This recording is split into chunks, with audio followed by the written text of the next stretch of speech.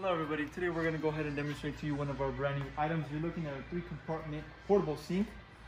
Okay, it is going to be an all stainless steel unit. As you can see, it does have protective sticker on the front as well as on the sides. Just to make sure it doesn't get damaged or scratched up during shipment. You can go ahead and peel that off once you receive the unit.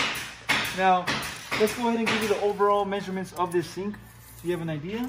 For the length, you're looking at 54 inches. For the depth, you're gonna be looking at a total of 20 inches for depth. And the overall height from bottom to top, you're looking at 44 inches high. As you can see, you do have uh, casters on the bottom as well, okay? So you need to move it from place to place very easy with those casters.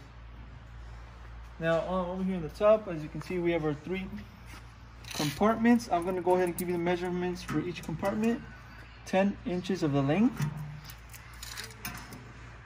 Okay, top to bottom or front to back, it's gonna be about 13 and a half.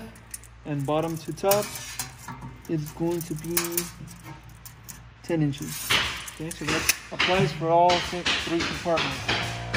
You also have your faucet with the cold and hot water. And you also have a paper towel dispenser that will go over here on the side. Okay. And you also have a soap dispenser that goes here in the front. Okay. Now let's go ahead and show you the inside. Open up these doors. You have keys that will be provided so you can lock these doors as well. Okay, open up the doors, show you the inside. We have our waste tank, followed by our fresh water tank, and our heater over here on the right hand side. Okay, actually, this is gonna be the waste tank, and this is your fresh water, okay? So, I'm sorry, the waste tank and the fresh water. Fresh water is gonna be on the left hand side, and the one in the middle is your waste. Once your waste tank is full, you can go ahead and drain out all the water. It does have the drain right here on the left hand side. So once it's full, you can go ahead and drain that out. Now for the fresh water tank, there's an insert over here on the top where you can go ahead and put your water. And then on the right hand side, as we explained, you have your heater.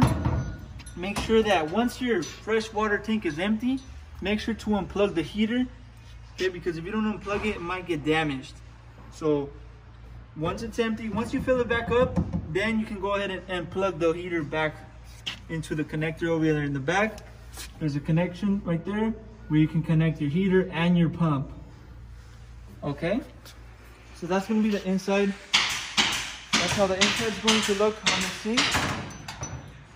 Okay, and pretty much on the back, you can see we do have a sticker with that water hazard, okay? So the water heater hazard. Okay, so that's gonna be a little demonstration on this three compartment portable sink. If you have any other questions or are interested in this unit, go on our website, coolerdepotusa.com. You can make a purchase on our website for the sink. Price will be on there as well.